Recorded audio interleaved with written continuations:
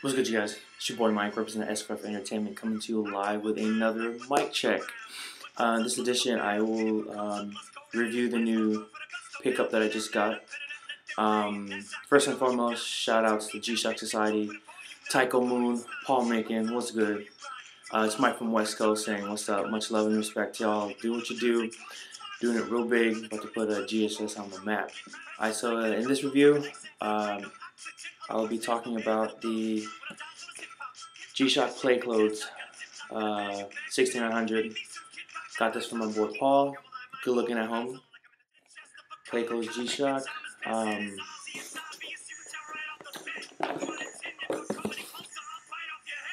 some of the hard cases like the Undefeated and the LRGs.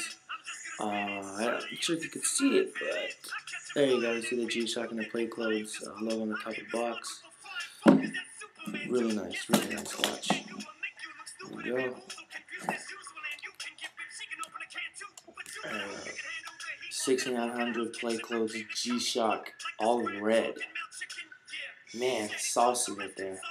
Um, you have the black velvet all over through here. Um, these are one of the main complaints that I heard in Paul's previous video to this was um, that it would dis not I wouldn't say discolor, but it would leave a mark um, black on it.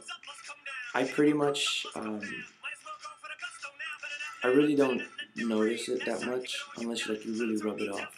Other than that, this is watch right here. Along with the, oh, right. One of the one of the things that uh, me and Paul were discussing over the phone um, about a couple of days before I got this was it's pretty damn hard to read the time.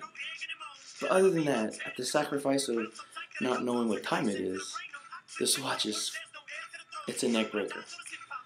You've got pretty much matte red finish throughout the entire watch. You've got the um, pretty much got the whole rally rally stripe throughout the entire watch. Uh, I do agree with Paul again on the fact that it would be pretty sick to have the whole uh, rally stripe going from the G all the way down.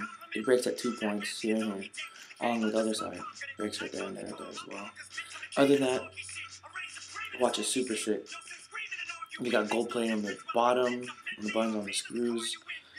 And other than that, I mean, it's, it's pretty damn sick. I, I have yet to see someone rock this in my area. Um, my boy B Hang, I've heard that he also has it as well. I get to confirm that, but prove me otherwise if it's safe to say that I'm the only one on the West Coast with this watch. Or like I said, rocking it. All in all, it's just a super clean watch. I don't know if you could probably see it, but you have the play code decal right there on the top underneath the G-Shock.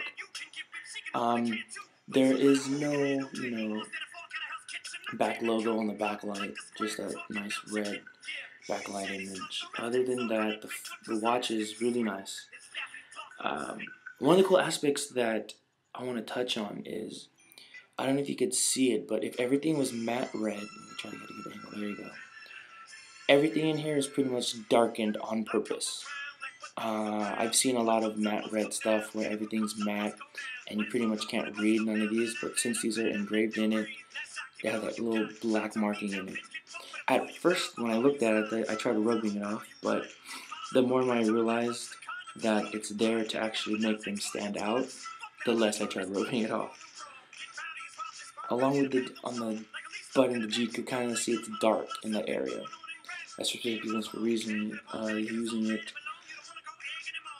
I keep the little plastic seal on the bottom just so that you're going to get that moisture from uh, your skin onto the gold plate and you discolor it.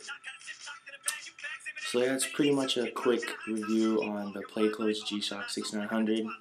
Once again, big ups to G-Shock Society, second in command, Paul Macon, good look homie. Um, I'm definitely going to contact you about that next pickup, and you know what I'm talking about. Shout out to um, S4F Entertainment, all the boys, DJ Free, what's up, Emu, Jerome, Alex, uh, what more can I say? We are at 2,200.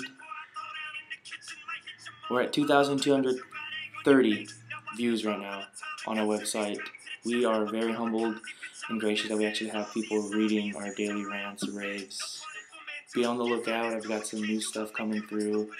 I am slowly yet surely. Um, actually, I just got my internet today through Comcast, so definitely I'll be posting not so much frequently, but more videos and stuff like that.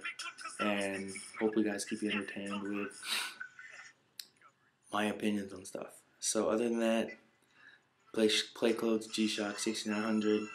It's your boy Mike representing G Shock Society. S4F Entertainment. Stay up, stay tuned. Peace.